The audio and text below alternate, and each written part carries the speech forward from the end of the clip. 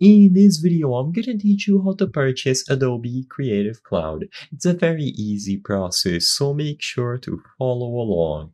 In this video, I'm going to teach you how to browse through all of the plans available through Adobe and how you can purchase the Creative Cloud apps. So to do this, go over to adobe.com. This is going to allow you to browse through all of the plans, compare prices, and find the one that is ideal for you. So once you are at adobe.com, all that you have to do is either select the option to explore popular plans as you can see over here, or select plans and products at the top. Afterwards, choose View All Plans, and you will be redirected to this page, where, as the name suggests, you will be able to browse through all of the options that they have.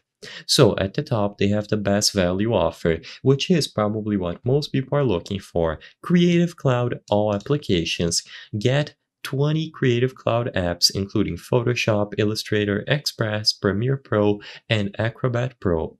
You will then be able to select this to finish making this purchase. Alternatively, you can browse through individual options if you scroll down or switch the category. So by default, it is selected and catered towards individuals, but you can switch to business, students and teachers, and then schools and universities. For this video, I'm going to keep it simple and I'm going to focus on individuals. If you select any of these plans, you will be able to proceed, and you can tick this box to add a 30-day free trial of Adobe Stock.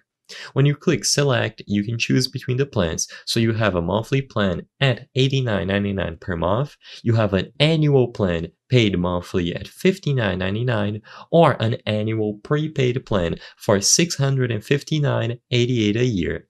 If you choose any of these, you will be able to continue and finish making the purchase. Just choose any of the available payment methods and you will be able to have this added to your account. I hope I was able to help you on how to purchase Adobe Creative Cloud.